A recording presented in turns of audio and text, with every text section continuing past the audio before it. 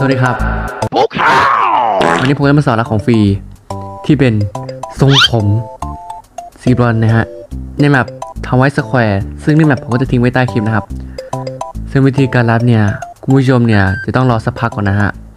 มันจะขึ้นปุ่มตรงนี้ขึ้นมา ใช่ ตอนนี้เราใช้เรดาร์นี่ยังไม่ได้นะครับ เดี๋ยวผมจะตัดไปตอนที่ ไอ้ปุ่มตรงนี้ขึ้นมาแล้วนะ ตรงข้างๆตรงนี้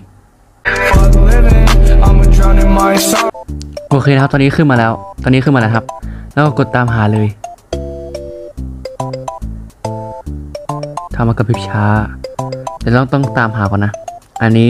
ที่มันจะไม่เหมือนกันนะผู้ชมนะ ต้องหาให้เจอแล้วผู้ชม โอ้โห หายยากจริง ๆ เลย ไอของ ทางไหนเนี่ย เราต้องรีบหาให้เจอ